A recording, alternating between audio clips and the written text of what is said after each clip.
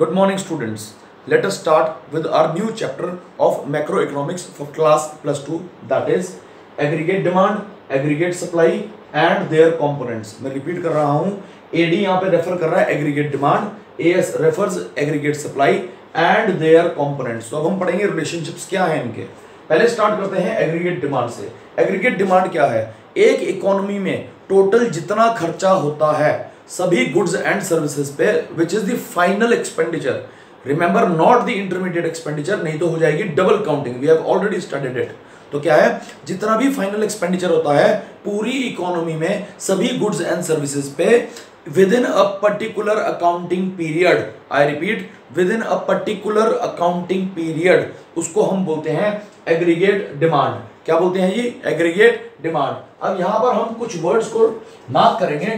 That is the total value final goods and services which all the sectors सारे sectors जो plan कर रहे हैं, एक पर्टिकुलर पीरियड ऑफ़ टाइम पे, एक पर्टिकुलर लेवल ऑफ़ इनकम में तो हम उसको बोलेंगे एग्रीगेट डिमांड इसके और नाम क्या है? समझते हैं. इसका नाम है जी aggregate expenditure intended expenditure ex ante demand desired expenditure या expected expenditure aggregate intended ex ante desired expected expenditure या डिमांड ये सब है इसके ऑल्टरनेट नेम्स अब इसको थोड़ा मैथमेटिकली समझते हैं। हमने टेबल बनाया।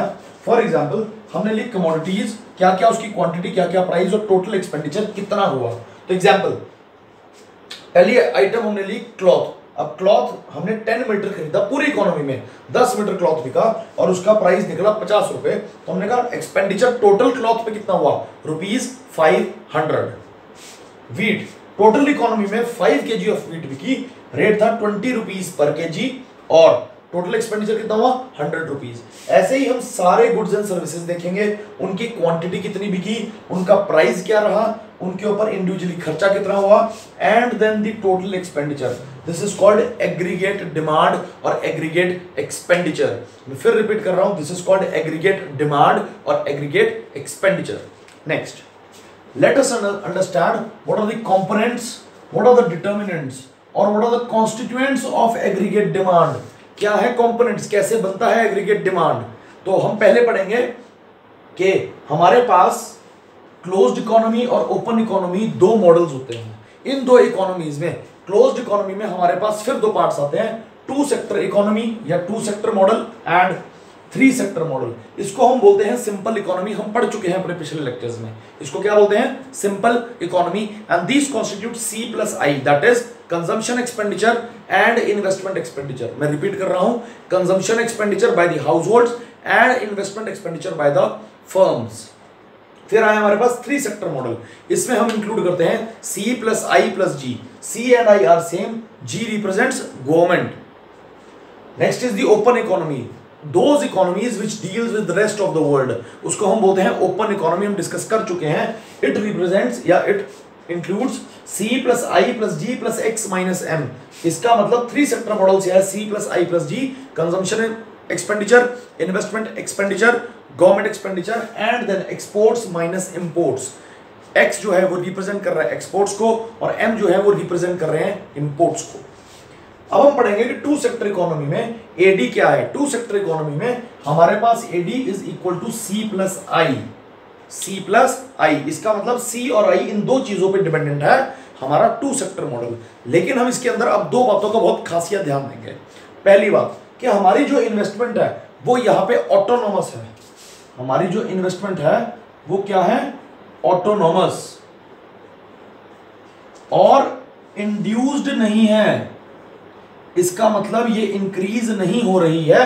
This is a constant amount of investment being in the market second जो हमारा इनकम लेवल है, उस पर ज़ीरो लेवल पे भी कंजम्पशन 40 है, इसको आगे पढ़ेंगे क्यों है? अब हम पढ़ते हैं जी behaviour of AD in two sector economy तो उस बिहेवियर को समझने के लिए पहले हमें समझना पड़ेगा ये टेबल कि एडी जो है वो सी प्लस आई कैसे बना। समझिए।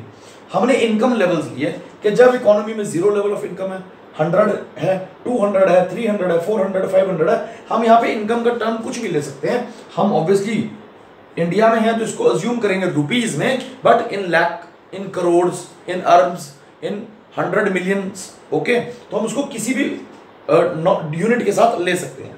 नेक्स्ट इज़ कंजम्पशन कंजम्पशन भी उसी में से होगी राइट right? तो इनकम में से ही कंजम्पशन होगी तो ये भी उसी हिसाब से बनेगा।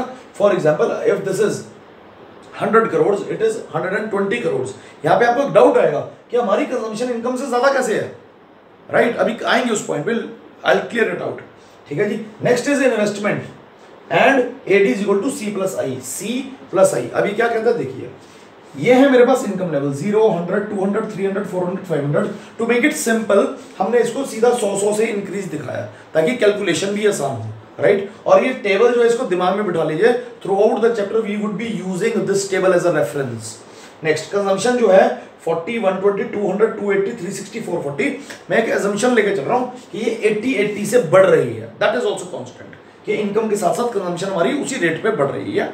ऐसा ज़रूरी नहीं है. We are just assuming it next is investment ये भी हमने ज्यूम किया कि इन्वेस्टमेंट नहीं बढ़ रही इन्वेस्टमेंट इज़ कांस्टेंट राइट तो ये आ गया हमारा ज़ीरो लेवल पे 40 है हमारी कंजम्पशन इन्वेस्टमेंट है 20 so total is 40 plus 20 is equal to 60 means consumption expenditure plus investment expenditure total आया 60 लाइकवाइज इनकम है हमारी 100 कंजम्पशन है 120 इन्वेस्टमेंट है 20 so so 120 plus 20 is equal to 140 income है हमारी 200 consumption is 200 it means whole of the income is being spent investment 20 total comes 200 plus 20 is equal to 220 next income is 300 consumption is 280 now see there are a bit of savings 300 crore कमाए 280 करोड़ हमारे खर्च हो गए out of 300 crore we spend 280 crore so 20 crore are savings वो next आगे topic में बात करेंगे तो हमारा यहाँ 280 plus 20 is equal to 300 and likewise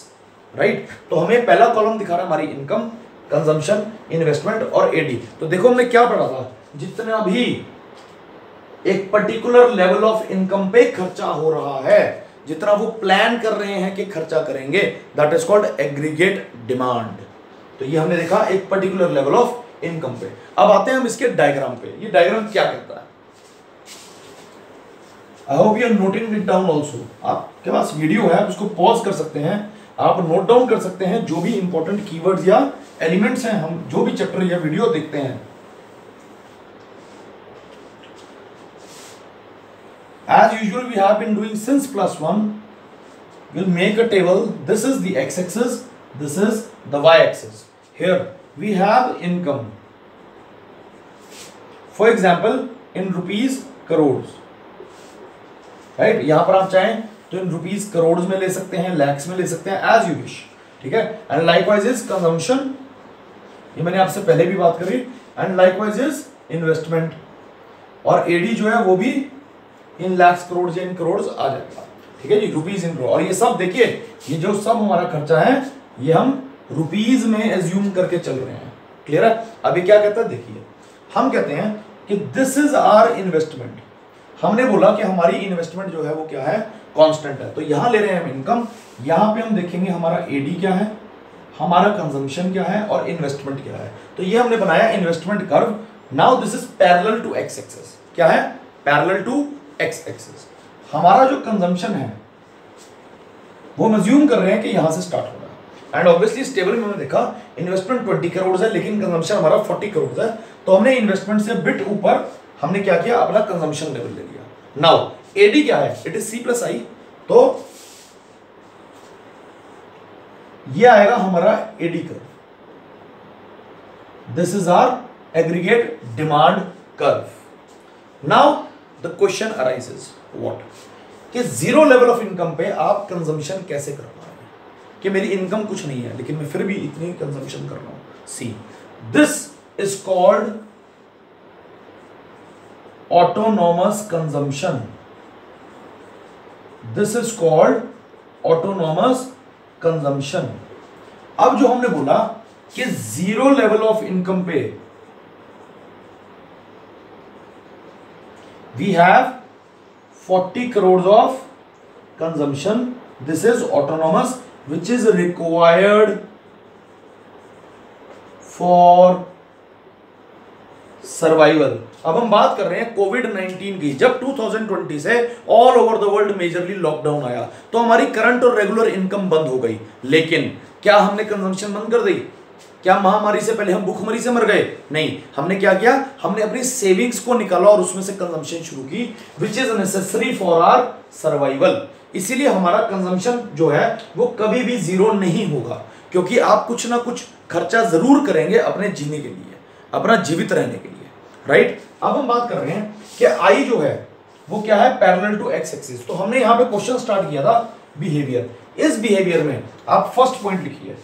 इस बिहेवियर का फ़र्स्ट पॉइंट क्या आएगा? कि हमारा जो इन्वेस्टमेंट कर्व है it is parallel to x axis because we have assumed investment to be constant ये ऑटोनॉमस है, ये इंड्यूस्ड नहीं है. दिस इज़ कांस्टेंट सेकंड हमारे पास क्या आया? सेकंड हम देख रहे हैं सी जो है, वो क्या है? इट इज़ नॉट ज़ीरो ये हमने बात करी क्यों? क्योंकि ये क्या है हमारा?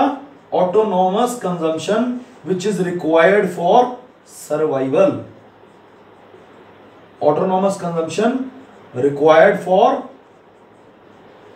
survival third हमारे पास क्या पॉइंट है थर्ड हमने देखा कि हमारा जो एडी है that will be always above C and I because A D is a combination of C and I so AD will always be above C and I our fourth combination comes हम writing it अब our fourth combination comes के rather behaviour comes that C and AD are parallel to each other. You would say AD is parallel to C. Why? Because the difference is क्या है difference I and I is constant तो देखिए अगर आप I जो constant है उसको minus करते जाएँगे तो हमारे जो दोनों कर्व्स हैं वो क्या हो जाएँगे पैरेलल टू ईच अदर हो जाएँगे। और यहाँ पर हम जो फिफ्थ बिहेवियर देख रहे हैं that is AD is a positive sloping curve it is a positive sloping curve अब वो पॉजिटिव स्लोपिंग क्यों है? क्योंकि with every level of income with every level of increase in income हमारा एडी जो है वो इंक्रीज करेगा। एडी जो है वो इंक्रीज कर लेगा। Please note down all these points these are very important ताकि आपको आगे वाले टॉपिक्स समझ आ सके। That's all for the day I hope it is clear to you कोई भी डाउट है तो कमेंट सेक्शन में डालिए। Thank you